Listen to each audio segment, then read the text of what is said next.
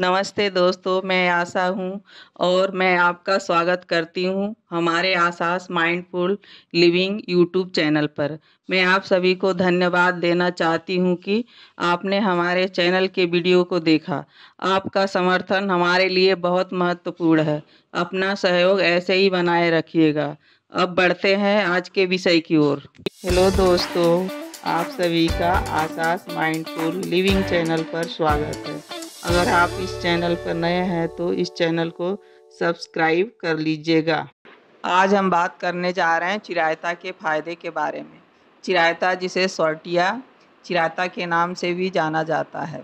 भारत, नेपाल, भूटान और तिब्बत के समशीतोषण हिमालयी क्षेत्रों का मूल निवासी एक जड़ी बूटी वाला पौधा है। ऐतिहासिक रूप से चिरायता ने अपने औषधीय गुणों के लिए पारंपरिक आयुर्वेदिक और तिब्बती चिकित्सा प्रणालियों में एक महत्वपूर्ण स्थान रखा है। इसके कड़वे स्वाद और कथित चिकित्सीय प्रभावों के कारण इसका उपयोग सदियों से विभिन्न बीमारियों के इलाज के लिए किया जाता रहा है। आयुर्वेद में चिरायता को त्रिदोष नाशक जड़ी बूटी के रूप में वर्गीकृत किया गया है, जिसका अर्थ है कि यह तीनों दोषों, बात, पित्त और कफ को संतुलित करता है।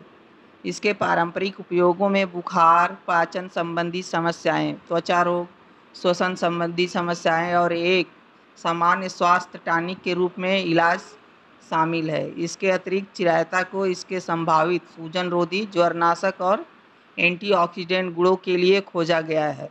समय के साथ वैज्ञानिक अनुसंधान ने इनमें से कुछ पारंपरिक उपयोगी की पुष्टि की है और चिरायता के संभावित स्वास्थ्य लाभों पर प्रकाश डाला है। आज इसका उपयोग विभिन्न हर्बल फार्मुलेशन में किया जा रहा है और इसकी चिकित्सीय क्षमता के लिए आधुनिक हर्बल चिकित्सा और वैज्ञानिक अनुसंधान में सामान्यता प्राप्त हो रही है। चिरायता के फ़ायदे, एंटीऑक्सीडेंट गुण।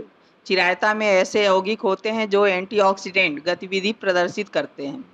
ऑक्सीडेटिव तनाव से निपटने और मुक्त कणों से होने वाली सेलुलर क्षति को कम करने में मदद करते हैं। सूजन रोधी प्रभाव। इसका उपयोग पारंपरिक रूप से शरीर में सूजन को कम करने के लिए किया जाता है, जो गठिया और सूजन, आंत्र रोगों जैसी सूजन संबंधित स्थितियों के लक्षणों को कम करने में मदद कर सकता है। बुखार कम करना, चिरायता अपने ज्वरनाशक गुणों के लिए जाना जाता है, जिसका अर्थ है कि यह बुखार को कम करने में मदद कर सकता है। इसका उपयोग पारंपरिक रूप से विभिन्न बीमारियों से जुड़े बुखार के प्रबंधन के लिए किया जाता रहा है। पाचन स्वास्थ्य।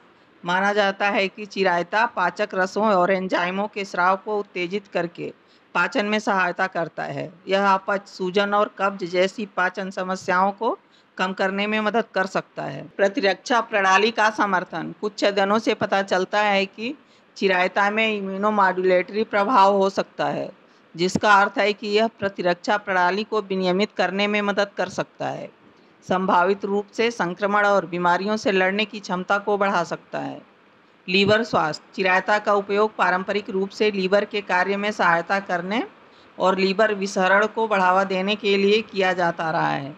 यह लीवर को विषाक्त पदार्थों और मुक्त कणों से होने वाले नुकसान से बचाने में मदद कर सकता है। त्वचा का स्वास्थ्य अपने सूजन रोधी और एंटीऑक्सीडेंट गुणों के कारण चिरायता मुहासे एक्जिमा और सोराइसिस जैसी विभिन्न त्वचा स्थितियों में सुधार करने में मदद कर सकता है।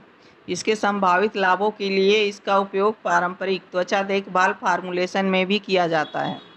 श्वसन स्वास्थ्य, माना जाता है कि चिरायता में कफ निसारक गुण होते हैं, जो इसे श्वसन अवरोध और खांसी से राहत दिलाने में उपयोगी बनाता है। यह सूजन वाले वायुमार्ग को शांत करने में भी मदद कर सकता है। रोगाणु रोधी गतिविधि। कुछ शोध से पता चलता है कि चिरायता के अर्क में रोगाणु रोधी गुण प्रदर्शित होते हैं जो बैक्टीरिया वायरस और कवक के विकास को रोकने में मदद कर सकते हैं। इस प्रकार समग्र स्वास्थ्य और प्रतिरक्षा कार्य में योगदान करते हैं। अगर आपको ये वीडियो अच्छा लगा हो तो इस पर कमेंट्स लाइक शेयर कीजिए। चैनल के सपोर्ट के लिए और दिए गए बेल आइकन को प्रेस करिएगा ताकि आपको नई अपडेट और नोटिफिकेशन मिलती रहे। धन्यवाद।